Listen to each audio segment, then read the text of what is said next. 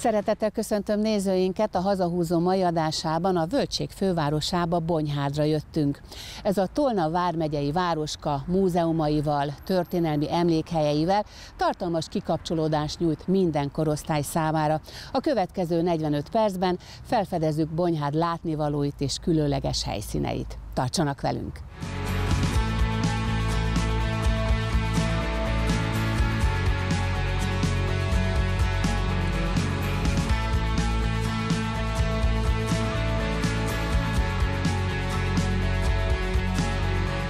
Bonyhádi kirándulásunk alkalmával felkeressük a Percelkúriát, az Ermelvojni csirkápolnát és Percelmor sírját. Majd a különleges neológ zsinagógát tekintjük meg, utána pedig a Völgységi Múzeumban ismerkedünk a település történetével. Innen a Nagymúltú Tűzoltó Múzeumba megyünk, végül pedig az Óvoda Múzeum játék kincseit vesszük szemügyre.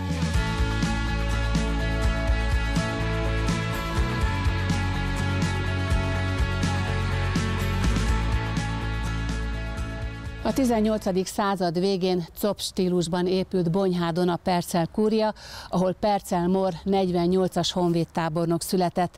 A ma már több funkciós épületben egy emlékszoba állít emléket a város nagyszülöttének.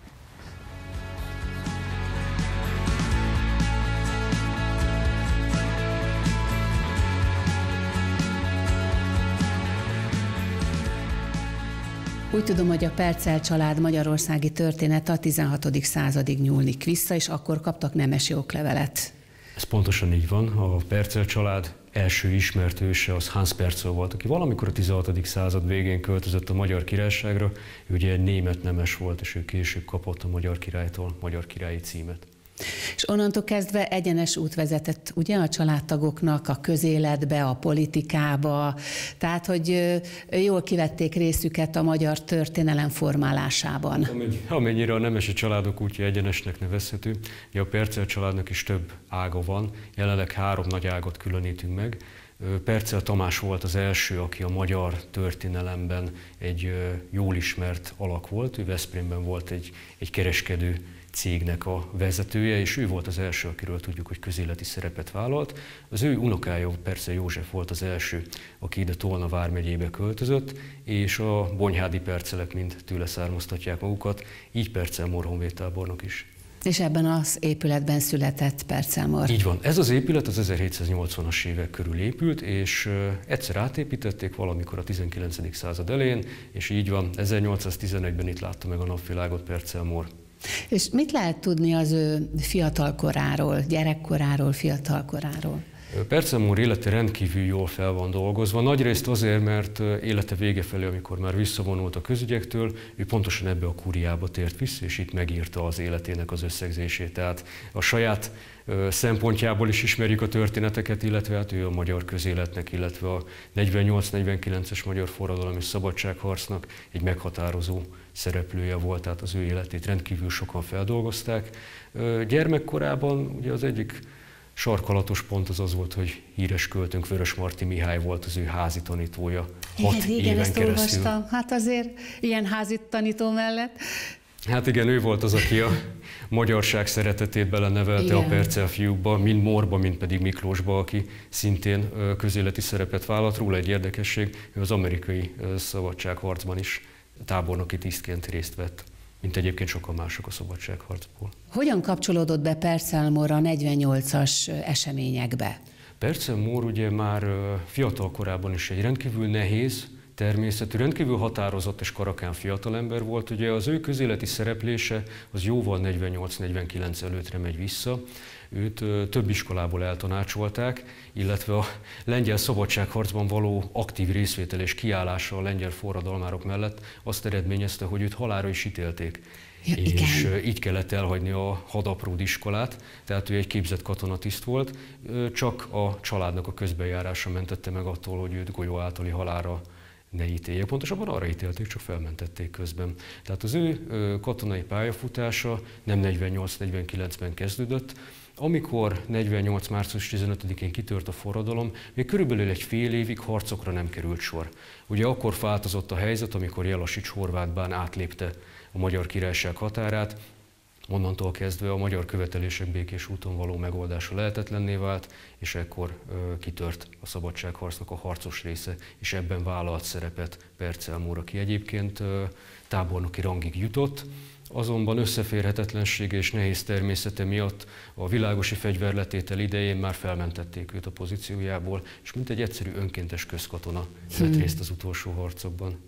És úgy tudom, hogy egy nagyon fiatal felesége volt, és talán 14 gyermekük. Így van, ez értesülés pontos volt, 14 gyermek született. Ugye Percel Móra szabadságharcot követően hosszú, másfél évtizedes emigrációba kényszerült vonulni. Ugye körbejárta Európa különféle államai, Törökországtól, Bulgáriától kezdve, míg végül Angliába és Jersey szigetére telepedett le, és egy érdekesség, hogy gyermekei közül többen annak az uralkodónak a nevét viselik második keresztnévként, amelyik, akinek az országában születtek, így például Percel Szulejmán is Percel Mór gyermekei között van. Minden gyermeke életben maradt? Mert ugye abban a korszakban sajnos előfordult, hogy tizen akárhány gyermekből egy pár meghalt valamilyen betegségben. Ez, ez sajnos pontosan így történt Percel Mór esetében, Igen? is az ő gyermekei közül relatíve sokan élték meg a felnőtt kort, és uh-huh. hát gazdagították a, uh-huh. a Percel családnak a bonyhádi ágát. És itt ebben az emlékszobában vannak olyan tárgyak, bútorok, ami az övé volt? Vannak, hál' Isten. Ezeket másfél évszázad távlatából rendkívül nehéz volt összevadászni, azonban a Vosinski Mór megyei múzeumnak hála, illetve önkéntes felajánlásoknak eredményeképpen be tudtunk szerezni több olyan tárgyat, és most a jelenleg a Völgységi Múzeumban őrzünk több olyan tárgyat, ami Percemor személyhez közvetlenül kapcsolódik. Itt a mögöttem látható vitrínben van Percemor tábornok szemüvege, illetve az ő használati tárgyaiként működő poharak, üvegek, napóra, ezek mind-mind a Percel családhoz kapcsolódnak. Ugye a rajtuk lévő címer ezt elég egyértelműen közli. És ez a bútor? A bútor a sajnos nem az épület eredeti tartozéka. Ez az épület az államosítást követően egy középiskolai kollégiumként működött. Innen az eredeti bútorok azok sajnos eltűntek. Ez egy 19. század elejei bútor, tehát stílusában tökéletesen passzol ahhoz az időszakhoz, amikor Pelcel Mór élt, élt és alkotott. Ha ezekre a bútorokra nézünk, akkor egy jó képet kapunk arról, hogy hogyan is nézhetett ki eredeti állapotában ez a most egyébként nagyon szépen felújított kúria.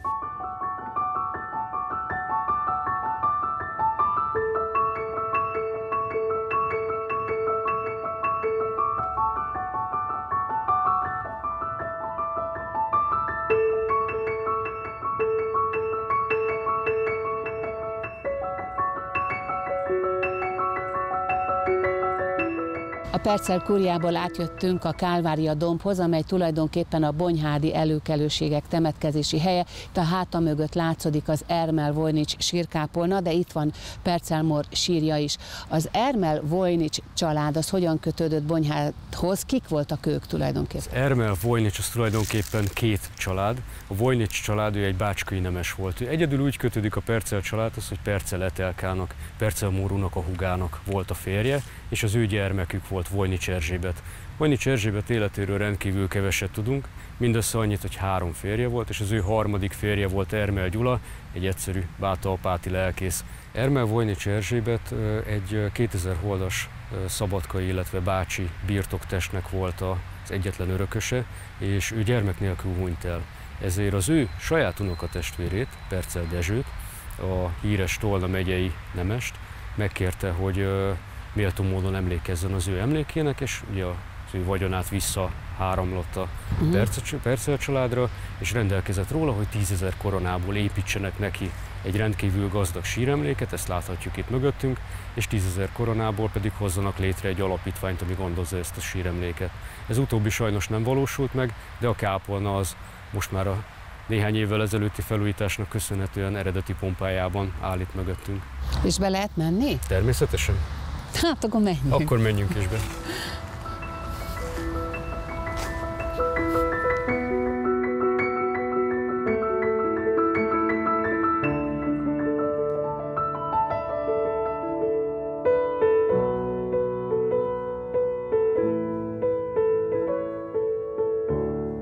Nagyon szép ez a kápolna. Ki tervezte? Ez a kápolna, ez Ágnes Sándor, vagy az ő tanítványa Szikorszki Tádé tervei alapján készült. Ez 1905 és 7 között építették föl. Uh-huh. Milyen stílusban? Ez egy neogóta kápolna. Ugye két építészeti párhuzama van. A Margit szigeten épült uh, fogadalmi kápolna, Igen. Klotild Mária hercegnőnek szentelt fogadalmi kápolna hasonlóan nézett ki. Sajnos az Budapest ostrom akkor megsemmisült, illetve hasonló stílusban átülünk 40 kilométerre Pécsette Zsolnai Mauzóleum, az szerencsére mai napig megtekinthető.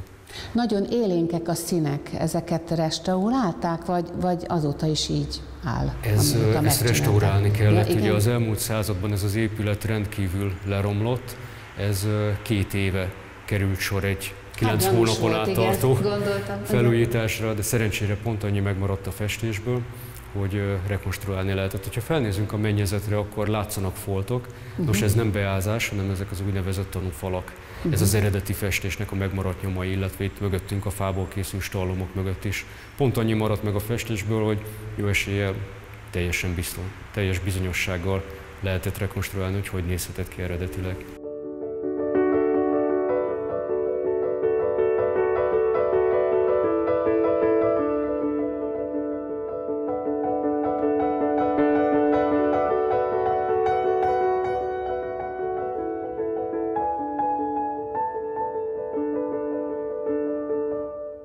Itt van Percel Mór és feleségének a sírja. Hát Júlia az, az nagyon korán meghalt, 49 éves volt, Mór viszont 88, Így van. ha jól számolom, igen. Elég egyszerű ez a sír.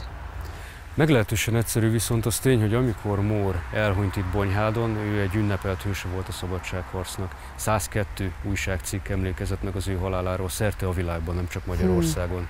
Tehát dacára annak, hogy ez a síremlék egyszerű, Mornak az emléke azért akkor is és napjainkban is elég nagy visszhangot vetett. Ugye, hogyha Bonyhádra gondolnak az emberek, akkor Percel Mór neve azért előbb-utóbb és inkább előbb-elő szokott kerülni. Itt esetleg ünnepségeket is tartanak? Természetesen. Március 15 uh-huh. Mhm. koszorúzás, az ennek a nyomait igen, látjuk itt. Igen, azért kérdeztem. Hát illetve Percel Mór nevét viseli. Park, utca, iskola, program, emlékfutás, tehát ő a városnak azért egy szerves részét képezi napjainkban. Erre az örökségre érdemes emlékezni.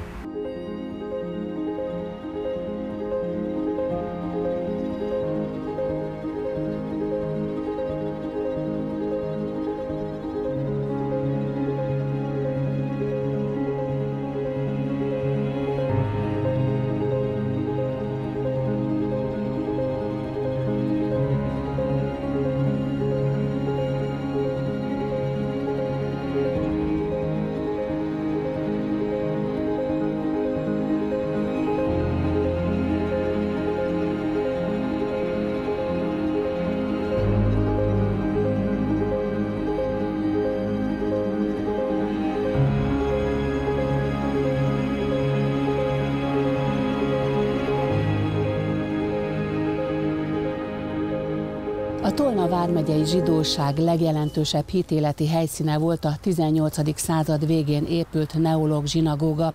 A régi épületben manapság egy fotókiállítás látható, amely az egykor itt élt zsidó emberek életét mutatja be.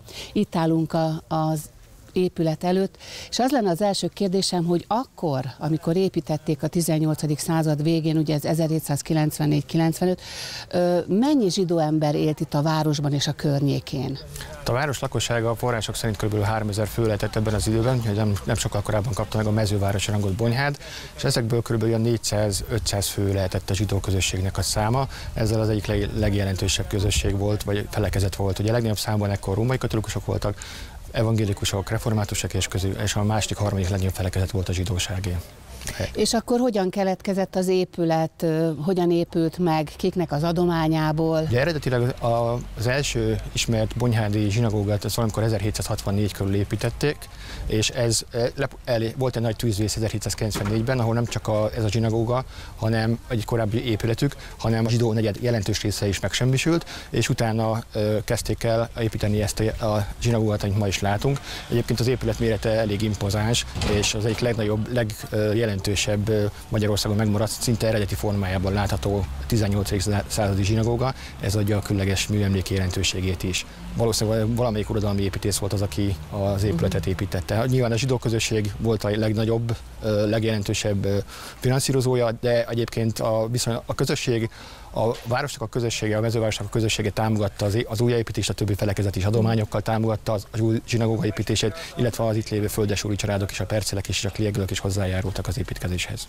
És amit most látunk, ez az az épület, amit akkor megépítettek, vagy azóta azért volt valamilyen változtatás rajta? Gyakorlatilag a formája megegyezik azzal az épülettel, ezért is, amit említettem, hogy ezért is nagyon jelentős, mert kevés olyan zsinagóga van, ami ilyen régi és gyakorlatilag majdnem teljesen az eredeti formájában uh-huh. fennmaradt. Volt több, nyilván több átépítés is volt az idők folyamán. A legjelentősebb az 1896 környékén volt, amikor a nyugati oldalon kiépítettek egy másik feljáratot, a női karzatot építették hozzá, amit ha majd a nyugati oldalon lehet látni, és hogyha bemegyünk majd az épület belsébe, akkor lehet látni fönn majd a női karzatot, uh-huh. mert a nőknek külön bejáratot kell biztosítani a, a zsidó hitelek szerint.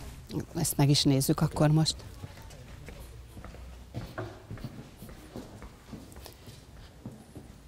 A Bolyhádi zsidó közösség az egyik legjelentősebb vidéki közösség volt, és a 18. században a város méretéhez képest egy igen nagy létszámú közösség volt. Nem csak a létszámuk volt jelentős, hanem a szellemi kisugárzása is, a nagyon komoly vallási jelentőségre tettek szert. Az első ismert adatunk a zsidóságról az kb. 1740-es évekből származik, ekkor négy családról vannak források, és a 18. században a számuk egyre jobban emelkedett. Ez annak volt köszönhető, hogy a helyben lévő két földesúri család, a Kliagül család és a híresebb Percel család magasfokú toleranciát mutatott a zsidóság irányába, ami nem volt a korban általános. Nagyon sok birtokos, ugye a zsidóknak a különállása miatt, illetve az elkülönülése miatt sokszor ellenszemben fogadta és megtiltotta a letelepedésüket a birtokán. Itt megengedték az itteni földesurak, és ezért volt az, hogy egy igen jelentős számú zsidó közösség jött létre. Az épület, amit említettünk, ez jelenleg a neológ zsinagóga, a, azért, eredetileg ez volt az, az egységes közösségnek is a zsinagógája, de az 1867-es szakítás után, amikor az 1870-es évek környékén megalakult az ortodox közösség is itt Bonyhádon, utána a neológva közösségnek lett a zsinagógája, a, a korábbi egységes közösség volt zsinagógája. Uh-huh. A, maga az épület, tehát volt egy jelentősebb felújítás az 1890-es években, és utána tulajdonképpen akkor nyerte el mai formáját. Uh-huh. A közösség virágkora mondhatjuk, hogy a 18. század vége, a 19. század első fele, de igen jelentős szerepet töltöttek be a 20. század első felében is. Mm. Sajnos a történelmi viharai nem kerülhették el a bonyhádi közösséget sem. A második világháborúban a bonyhádi zsidóságnak a 85%-a mhm. megsemmisült, és utána már sohasem érte el korábbi jelentőségét sem a közösség, és ez is sajnos az épületnek a uh-huh. történetére és az állapotára is kihatott.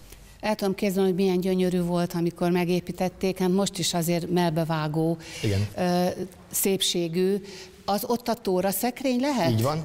Ugye? Így van, ugye az a tóra szekrény, itt középen pedig az úgynevezett bima, Igen. a tóra felolvasó emelvény. A, fönt pedig láthatjuk, hogy a ö, női karzatnak Igen. a emelvényét, ugye ennek a bejárata van az épületnek a nyugati oldalán. Igen. És ez a fotókiállítás, ez hogyan jött létre, és a fotókon kiket láthatunk? A fotókiállítás 2004-ben került a zsinagógába, a holokausznak a 70. évfordulójára a város önkormányzata, illetve a Soha Többet Soha alapítványnak a közös szervezésében. A városnak a 20-as, 30-as évekbeli zsidóságának a képeit láthatjuk, vannak köztük túlélők, illetve az áldozatoknak a képeit mutatja be, hogy arcokat, ugyancsak számok legyenek, és arcokat mutassunk be a közösségnek az életéből, illetve a túlélőkből. A maga a kiállítás a mellett ugye 2014-ben a zsinagóga előtti téren avatták fel a holokauszt emlékművet is. És egyébként teljesen nyitott és ö, szabadon látogatható? Az épület ö, magánkézben van, ö, rendezvényeken látogatható, Szoktunk kulturális rendezvényeket szervezni, például a városnak a holokauszt emléknapon, illetve az egyházi felekezetek közül is, főleg a hídgyülekezete az, amelyik szokott itt helyben programokat szervezni, a várossal együttműködve, illetve a műveldési házzal és a múzeumban. Ezek ingyenesek? Persze ingyenesek volt, uh-huh. voltak itt koncertek, szoktak lenni különböző kulturális események és a megemlékezések.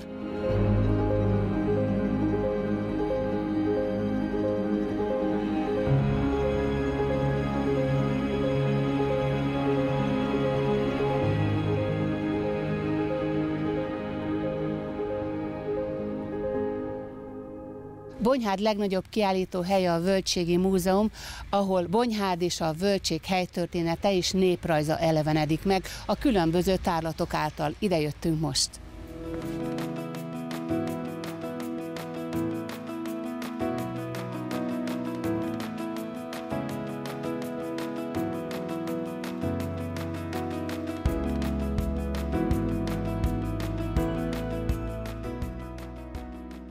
Gyakorlatilag a legkorábbi néprajzi emlékeink azok a 18. század végéről származnak abból az időszakból, amikor a, a múzeum épülete is épült, második József uralkodása alatt, 1780-as évek végén.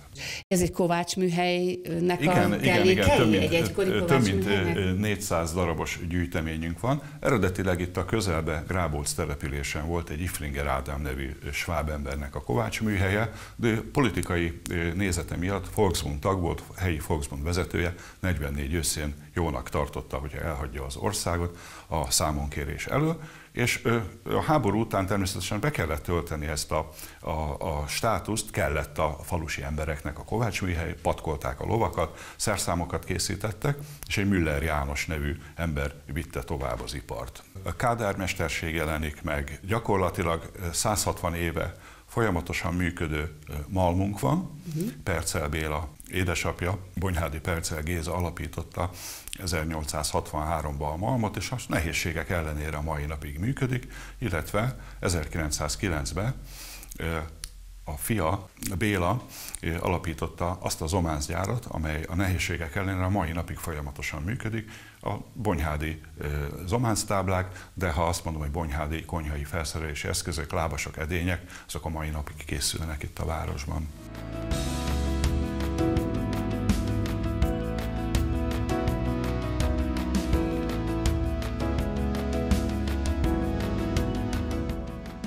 Ahogy már korábban említettem, az 1909-ben alapított Bonyhádi Zománzjár nem csak konyhai felszereléseket, lábasokat, edényeket gyártott, hanem jelentős mennyiségben reklám korabeli elnevezésével reklám zománcplakátokat, utcatáblákat, különböző reklám feliratokat. Uh-huh. És nagyon fontos helytörténeti dolog, hogy az első magyar általános biztosító társaság főügynöksége, amely itt a szomszédos utcában volt, Eisner Sándor vezetésével, rekonstruálni tudtuk korabeli fotók alapján, hogy az 1927-ben átadott katolikus bérpalota, amikor átadásra került, akkor készült ez a két darabból álló hatalmas zománc tábla, mert korábban a képes levelező lapok tanulsága alapján például egy fából készült uh-huh. tábla reklámozta csak az első magyar általános biztosítót. De ahogy látható, például a Ritzer testvérek temetkezési vállalata egy kicsit bizarr, egy koporsó táblázat, uh-huh. de ez egy kétoldalú zománctábla, amelyet az utca front felé helyeztek, és a járdán lehetett látni jobbról és balról is. És hát különböző táblák, cégérek, igen. Szüsárt kakao, vagy a szüsárt uh-huh. svájci csokoládét. Uh-huh. Nagyon ismerős lehet, vagy a Mautner vetőmagvak, uh-huh. az összes szatolcsból forgalmazta korábban. Ez például mi egy kétnyelvű településről beszélünk, ugye jelentős számú németség, illetve a zsidóság egy része is uh-huh. német nyelvet használta német nyelvű felirat van. Igen. Ami nagyon érdekes, sajnálatos módon visszafordíthatatlan az állapota, a Bécsnek 1910-ben legyártott utcatáblák közül a 12. kerület, ez a Meidling városnegyed Bécsben, a Kranichberg Gassének az mm. egyik utcatáblája. Ha a Google alkalmazással megnézi az ember, egyetlen egy régi épületet nem talál már ott, modern irodaházak mm. vannak a helyén a fazekak, lábasak hazája mai napig is Bonyhád, nincs az országban még egy olyan ö, gyár, ahol zománc edényeket készítenek. Reklám zománc táblákból A látogatók, főleg a, a fiatalabb korosztály megjegyzi a Dréher csokoládét majszoló kislánynál, hogy ők a Dréher teljesen más Igen, kontextusban sőt. ismerik. Igen, a, a világválság alatt 29-33 között a malátát, illetve azt az, azokat az alapanyagokat, amelyek a sörgyártáshoz kellettek, mivel hogy a sörnek nem volt konjunktúrára, nem fogyott úgy a sör, akkor elkezdtek kakaóport, pótkávét, csokoládét gyártani, ugyanaz az Anton Dréher, tehát Dréher Antal sörgyára. Ügyes.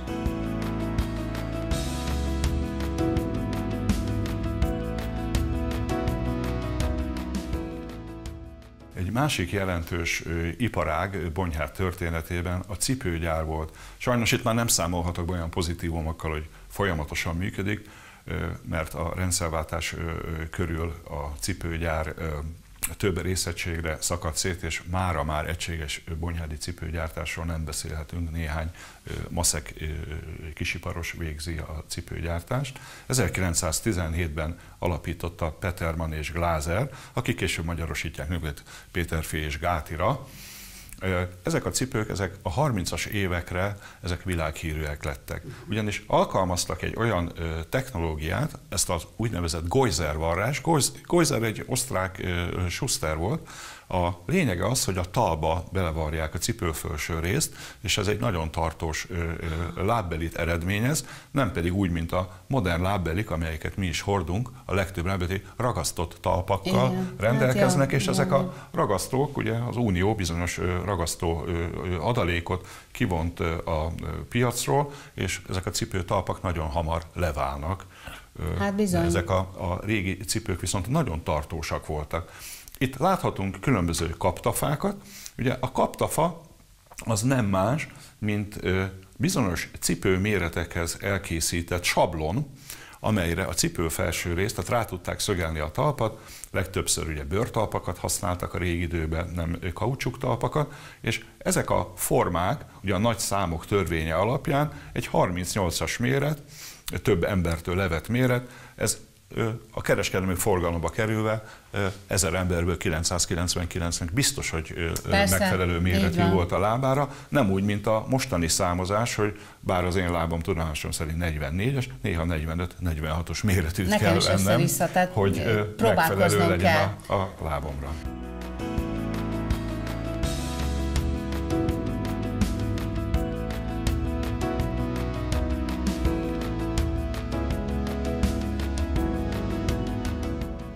A Bonyhádi Tűzoltó Múzeum egy olyan kiállítóhely, ahol a szervezett tűzoltóságok előtti idők tűzvédelmének a fejlődését követhetjük nyomon, a cégek korától kezdve egészen az önkéntes tűzoltó egyletek megalakulásáig.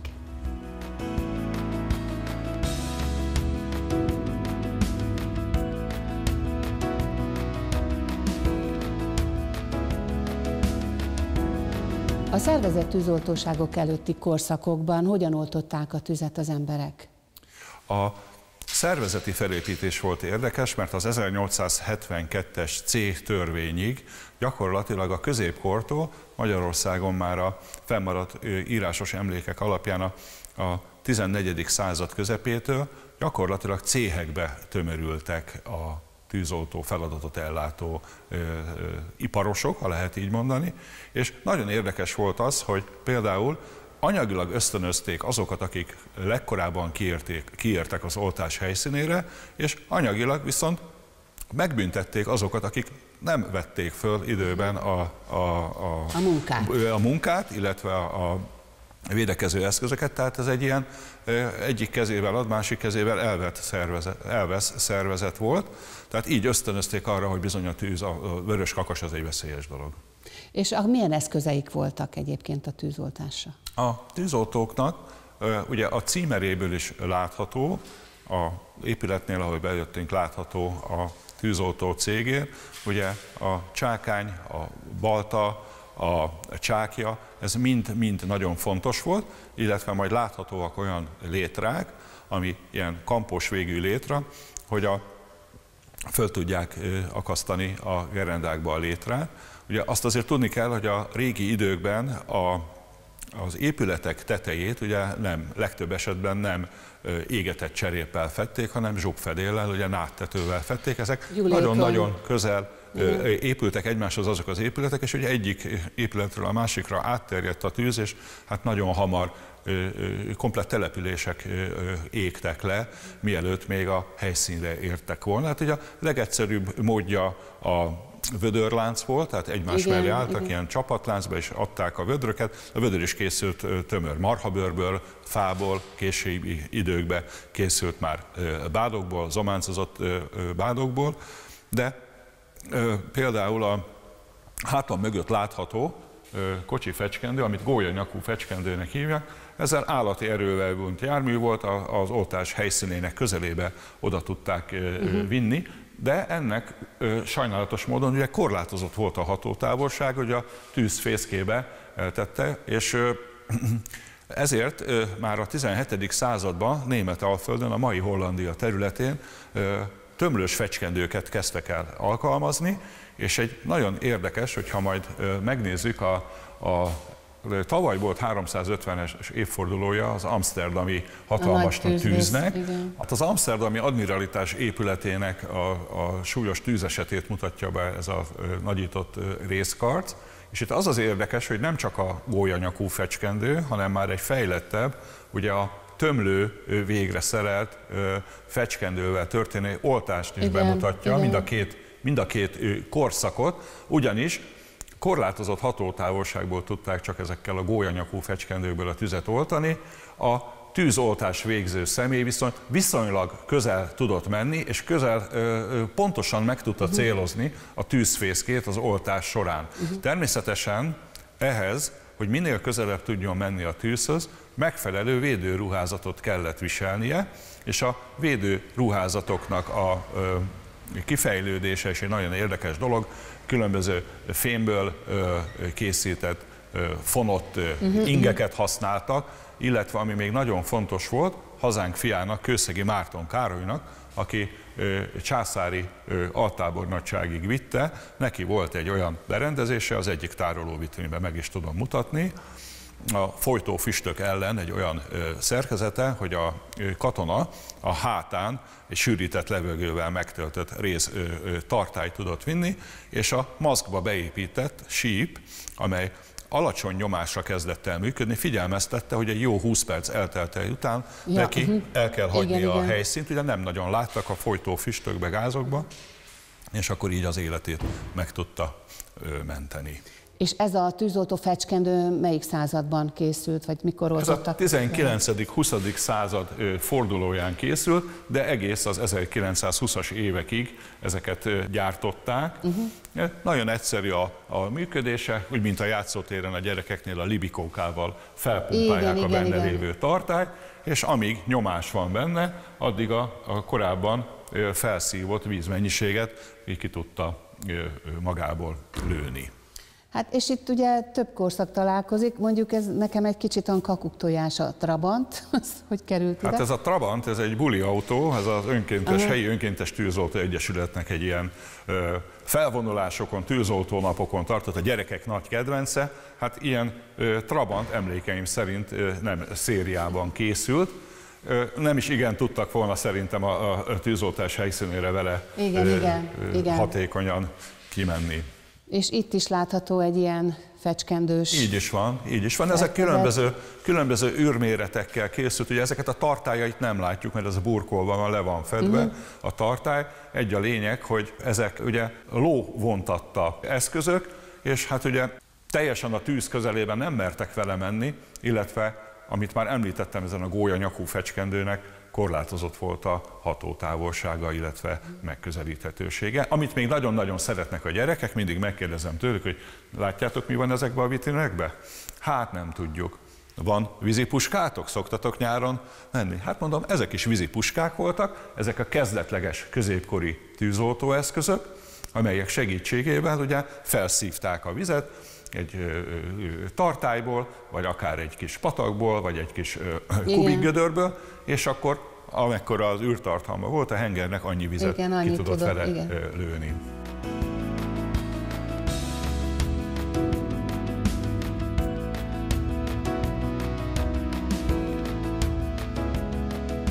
Ez már a 20. század, jól gondolom? Így van, a 20. század elején gyakorlatilag minden ö, településen már léteztek szerkocsik, és a szerkocsik tárolására építették meg a tűzoltó szertárokat. Egy különlegessége van, egy különleges vonása van ezeknek a szertáraknak. Ha felnézünk, azt látjuk, hogy nincsen födém az épületen, nincs külön padlástér, a gerendák szabadon állnak, de ennek az volt a feladata, hogy a tömlőket ki tudják szárítani, mert hogyha dohosan, vizesen, és hogyha vizesen tettük el a, a, tették el a tömlőket, akkor ugye bedohosodtak, elpenészettek ezek igen, a, igen. az eszközök. Tehát ezeket addig fönn kellett a gerendákon átfűzve tárolni, még teljesen ki nem száradtak. A 20. század elején hogy maradtak fönt ezek az eszközök? Hála Istennek, hogy ezeket az eszközöket gondos kezek restaurálták, hogy meg tudjanak maradni az utókornak, mert különben egyébként nagyon sok településen hátutazik az ember, legyen az a legkisebb falu, a falu központjában biztos, hogy lát egy ilyen szerkocsit, hogy a helyi tűzoltóság szertárából előkerült és felújított szerkocsi megtalálható.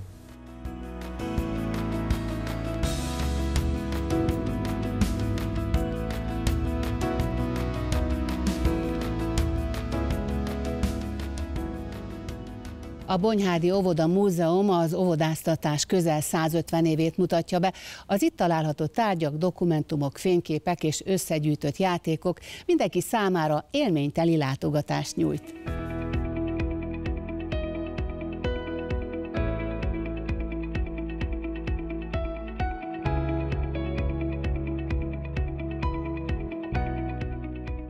Meseországban vagyunk, nagyon sok régi kedves játék vesz minket körül. Én itt a, a beköszönésemben elmondtam, hogy közel 150 évre nyúlik vissza az óvodáztatás itt Bonyhádon. Akkor ez körülbelül 1800-as évek, ugye? Igen, igen. Vége felé. Hogy akkor ö, hogyan ö, jártak a gyerekek, vagy egyáltalán jártak-e közösségbe, és ha igen, akkor hogyan foglalkoztak velük, milyen játékokkal játszottak? Hát 1882-re tudunk visszaemlékezni, amikor Bonyhád városában az első odát az irgalmas nővérek létrehozták. A Józsgics József apát plébánosnak a segítségével, és ők tartották el, Kisdedovónak hívták, uh-huh. és oda az érdekessége ennek az óvodának az, hogy az írások alapján, amit az alábbi vitrínben látható majd, hogy ebben, ebben az óvodában a, a tanítási nyelv az magyar és német volt, Ugyanakkor a, a beszélgetés, a társalgási nyelvnek nevezték, az meg magyar nyelven volt, mert akkor indult be ez a magyarosítás itt Magyarországon, hogy ez a város ugye német ajkú város volt, sokfajta felekezetű gyermek, illetve család élt ebben a városban, és az alapvető nyelv az a német volt, és hát a magyarosítás volt a legfontosabb számukra, úgyhogy ez nekik egy fő feladatuk volt ezek, ebben az óvodában. Ez az óvoda nem sokáig állt, 1907-ig. És mi volt a feladata? Mondhatod, hogy két nyelvet is tanítottak, hogy ez tulajdonképpen olyan iskola előkészítő volt? Ez nagyon jó kérdés, mert a, az alapító okiratukban szerepel is az, hogy ne, fontos a, a, az apácák számára, hogy a gyerekeket a népiskolára fölkészítsék, ezt a uh-huh. három-hat éves korosztályt. Úgyhogy ez így szerepel az, az alapító okiratukban, nagyon érdekes, de mindex közben 1893-ban eh, a, a város is alapított egy óvodát, Kromolini József segítségével, aki, aki patikus volt. Az ő síremlékét is láthatjuk ott a fotóját a képen, és hát ami nagyon érdekesség, és amiről sok mindent megtudtunk, a, a, megtaláltak az óvodában egy régi naplót, amilyen látogatási naplóként szerepelt, amelyben mindenféle ünnepekről, ellenőrzésről, látogatásról dokumentumok vannak, írásbeli dokumentumok, ami fantasztikusan érdekes, és abban szerepel, hogy mennyi minden támogatást adtak az óvodáknak akkoriban az itt élő gazdagok emberek, mint például a percelek, a dőriek, uh-huh. és akkor hadd ne soroljam még azokat, akik ide Bonyhádhoz tartoztak. Úgyhogy hát az az óvoda, amiről most beszélek, amelyik 1893-ban alapult Bonyhádon, az a mostani Dózsa utcában van, az akkor Fehérvár utca volt, és onnan maradtak meg nekünk nagyon-nagyon sok dokumentumaink. Ezt az óvodát aztán sajnos 1995-ben bezárták, uh-huh. mert ugye a gyereklétszám csökkent, és az a város szélén található óvoda volt, de a dokumentumok megmaradtak, és az adott nekem indítatást, én őszintén megmondom arra, hogy hát ezeket gyűjteni kell, ezeket meg kell őrizni, és akkor a padláson találtunk egy csomó játékot. A játékokra majd el fogom mesélni, ott kint a, a külső kis szobában látnak majd járműveket, amik onnan, abból az időszakból való, a kis szánkó, a kis padok, úgyhogy ez mind abból az óvoda, a gyakorlatilag itt az alapját a múzeumnak az az óvoda adta meg. És hát gondolom a lányok babáztak, ugye, babákkal játszottak, a fiúk meg autókkal. Igen, Tehát, igen, hogy ez igen. a tipikus, gondolom. Az a tipikus, igen. igen. igen. És ezek a játékok egyébként kézzel készültek, vagy már akkor voltak esetleg babagyárak, vagy játékgyárak? Volt ilyen is, olyan Én is? szerintem, hogy volt ilyen is, olyan is. Uh-huh. Most azok a játékok, azok a járművek, amiket mi találtunk, ezek ilyen villamosok, buszok, stb. Szerintem ez a 900-as évek elejéről való, akkor már azt gyártották, de van, vannak olyan babáink, itt például mellettem balkész felől van egy ilyen kis szatocsboltszerűség, amiben láthatnak egy babát, ami baba, amit most is csinálnak a nemzetiségi német óvodákban, úgy hívják, hogy stekepupa, az uh-huh. azt jelenti, hogy ilyen bot, botbaba, Mm-hmm. Két botot összekötnek, és akkor felöltöztetik, és akkor azzal játszottak a lányok, meg hát mikor még én gyerek voltam, akkor a kukorica csuhéból csináltunk ruhát, a csutkából csináltunk babát, tehát vagy ágyat, vagy ilyesmit. És hát a mackó elmaradhatatlan. Hát a mackó itt elmaradhatatlan. többféle maci is igen, van, nekem is igen. volt. Többféle mackó. A gyerekek nagyon szeretik a mackókat, ugye azzal hozzá lehet bújni, azzal lehet aludni, nagyon sok mackónk van, van egy, hát megmondom őszintén a mackó gyűjtemény az az anyém, és azért már otthon már nem fért el, és akkor azért hoztam ide. De a gyermekeid, De, gyermekeidé volt, vagy a tiéd is? Valamelyik a gyerekeimé volt, valamelyik meg gyűjtött, gyűjtött mackó, de vannak egyéni mackók, amit a, a Bonyhád lakosai közül néhányan ideadtak nekünk, mikor meglátták az Oda Múzeumot, akkor azt mondták, hogy na itt jó helyen lesz. Itt mellettünk ez eh, bábszínházhoz kellék? Na ez most egy nagyon jó dolog. Na. Ez a bábparaván. Bábparaván, e, bábparaván ez elfeküdt, eb, itt egy, mi egy óvodában vagyunk most, az a lenti rész az egy óvoda, uh-huh. ez, mhm. ez valamikor festők műhely volt, és úgy kapta meg óvoda múzeumnak.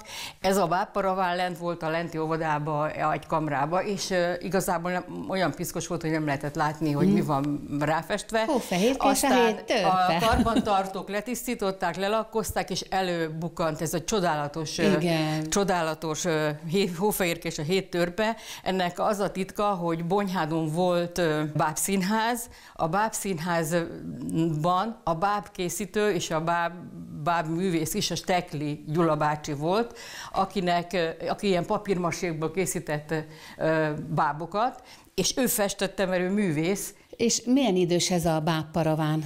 Hát ez a bábparavám szerintem egy olyan 80 éves biztosan van már, vagy 70. És a legidősebb játékok milyen idősek Azok körülbelül ilyen idősek. Körülbelül. Igen, mm. körülbelül ilyen idősek. Ö, ingyenesen látogatható? Ingyenesen látogathatók. Én, amire ráérek, biztos szívesen eljövök és bemutatom. Maria, mutatok neked valamit, és felteszek egy kérdést Jó. ehhez a tárgyhoz. Látható Na. itt ez a tárgy. Igen ez mondjuk ide, ez még ide való. És az a kérdésem, hogy tudja, tudod-e, hogy ez mire használatos? Egyetlen egy gyerek volt eddig, akik itt Hozzáérhetek? Persze, persze, de itt mindenhez hozzá szabad érni. Igazából még annyit elmondanék, hát hogy ide tudom. köveket raktak be. Hát nehezéknek. Tehát, hogy nehezék? Valamit lehet, hogy oda beraktak, és ki kellett simítani? Igen, így van. Ez egy vasaló. Vasaló. Ez egy vasaló, ami, aminél ezt, ezt, ezt így húzigálták. A, kimosott anyagot, uh-huh. gondolom ilyen nagy, igen, nagy igen. méretű, mert én ezt a tárgyat, ezt láttam, most nem akarok, nem akarok, nem akarok ne város mondani, de egy nemzetiségi múzeumban, amelyik eredeti felnőtt nagyságban volt. Ez uh-huh. meg a gyerekek számára érdekes.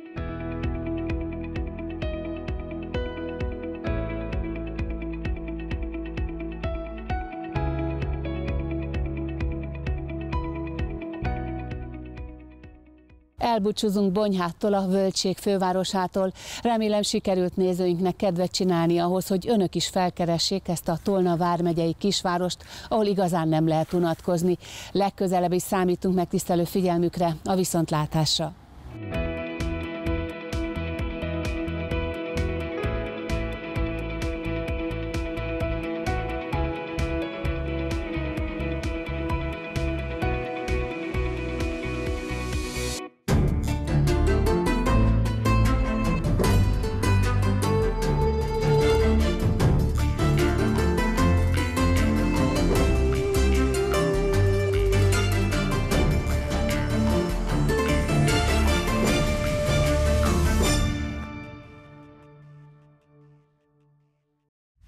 Műsor támogatója a Széchenyi Pihenőkártya.